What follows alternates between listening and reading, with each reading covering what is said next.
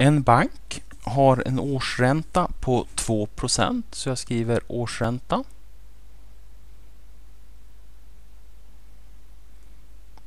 Två procent.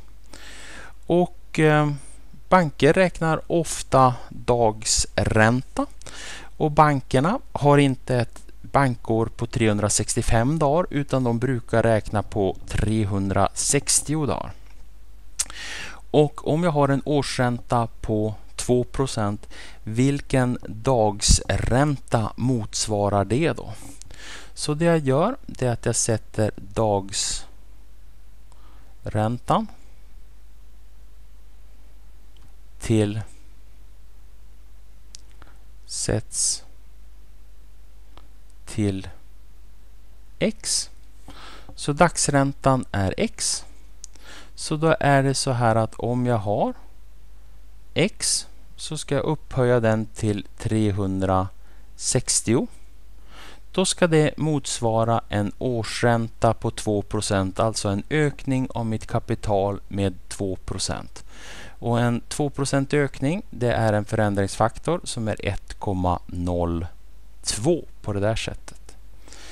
Så för att räkna ut då hur stor dagsräntan är så tar jag och upphöjer båda sidor till en 360 del så får jag att x är lika med då 1,02 upphöjt till 1 genom 360. Och tar jag och slår det här på min miniräknare så får jag följande att dagsräntan x är lika med 1,00 0 0 5 5 0 0 9. Och om jag nu vill se hur stor procentuell ökning det här är så tar jag min förändringsfaktor som motsvarar dagsräntan 1,000055009 och så tar jag minus 1 så får jag det till 0,000555009. Det här är alltså den procentuella ökningen i decimalform.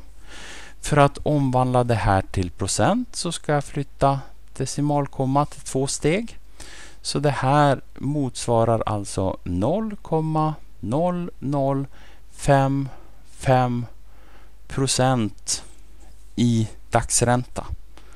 Så en 2-procentig årsränta motsvarar en dagsränta på 0,0055 procent. Och eftersom att jag har en värdesiffra här så ska jag avrunda det här till 0,006 procent. Så svar. En årsränta på 2 procent motsvarar